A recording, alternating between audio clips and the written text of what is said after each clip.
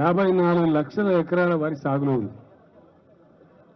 అన్ని రకాల పంటలు కలిస్తే దాదాపు డెబ్బై ఐదు నుంచి ఎనభై లక్షల ఎకరాల సాగులో ఉంది. అందులో ఒక వరి చేనే యాభై ఆరు లక్షల ఎకరాల సాగులో ఉంది. అంటే అగ్రికల్చర్లో వ్యవసాయంలో మంచి వృద్ధికి వచ్చినాం మనం. మంచి దశకు వచ్చినాం. జీడిపి కూడా వ్యవసాయంతో మంచి లాభం జరుగుతుంది. మంచి లాభం ఉంది అని భారతదేశానికి ఒక పాఠం చెప్పే విధంగా కష్టపడి నాలుగైదు సంవత్సరాలు ఐదారు సంవత్సరాలు చేసుకొని రుజువు చేసినాం.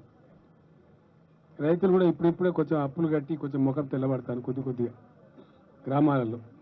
ఆ పాత బాధలు పోయినాయి.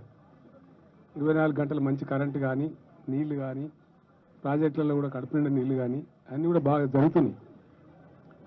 ఈ సందర్భంలో అనుకోకుండా ఈ గాలి విమానం రాళ్ళవానం వచ్చింది. నేను హైదరాబాద్ నుంచే ప్రకటన చేయొచ్చు.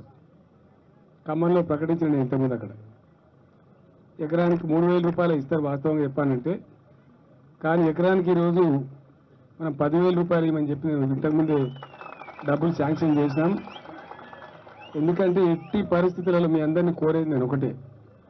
నేను సొంతంగా రైతును కాబట్టి నేను కూడా మట్టిలో పుట్టినోని కాబట్టి ఇప్పుడు కూడా నేను వ్యవసాయం చేస్తా కాబట్టి మన మంత్రి నిరంజన్ రెడ్డి గారు వ్యవసాయ మంత్రి కూడా ఆయన స్వయంగా రైతు ఇప్పుడు కూడా వారు కూడా వ్యవసాయం చేస్తారు. అందరం కూడా కాబట్టి ఆ బాధ మాకు తెలుసు కాబట్టి ఎట్టి పరిస్థితుల్లో మళ్ళీ వ్యవసాయాన్ని కిందికి పడనీయద్దు. ఇంకా పది ఎకరాలు ఎక్కువ వండియాలి కానీ ఇంకా ముందుకే పోవాలి కానీ నీళ్ళు కూడా ఇంకా రాని కాడికి తెచ్చుకోవాలి కానీ మళ్ళీ వెనకలు కూడా తెలంగాణ ఎట్టి ఏ పరిస్థితుల్లో కూడా. ఆనాడు రాష్ట్రం ఎట్లా సంపాదించుకున్నామో ఇలా వ్యవసాయం కూడా అట్లా పెంచుకుంటున్నాము ఉద్యమం చేసినట్టే. ఎట్టి పరిస్థితులలో మళ్ళీ వెనుకకు పోవద్దు. ఇంత ఎండలో ఇంత దూరం మొత్తం మన వ్యవసాయ మంత్రి గారు చీఫ్ సెక్రటరీ గారు రాష్ట్ర అధికారులు మన జిల్లా అంతా అధికారులు నాయకులు అంతా ఎందుకు వచ్చినామంటే మీకు ధైర్యం చెప్పడానికి నేను పదివేల రూపాయలు అడిగి ప్రకటించాల్సిన పెద్ద సమస్య కాదు.